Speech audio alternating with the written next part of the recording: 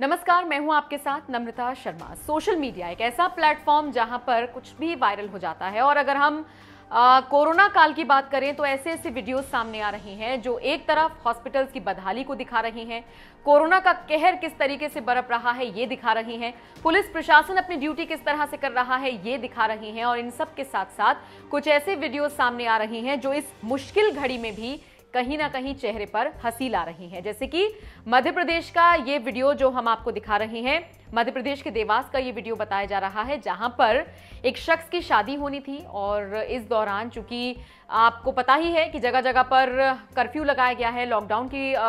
Lockdown का ऐलान किया गया है और व्यवस्थाएँ जो हैं कहीं ना कहीं चरमराई हुई हैं। तो इसी को लेकर एक शख्स को अपनी शादी के लिए घोड़ी नहीं मिली। तो वो गधी पर बैठ गया। जी हाँ गधी पर बैठकर उसने पूरे रीति रिवाजों से अपनी शादी की, जितनी भी चीज़ें थी उसको पूरा किया और ये वीडियो सोशल मीडिया पर धड़ल्ले से वायरल किया जा रहा है। ये वीडियो थोड़ी बहुत हँसी आपके चेहरे पर लेकर आएगा, ये वीडियो देखिए और उसके बाद इस पूरी खबर पर अपनी राय ज़रूर बताइए।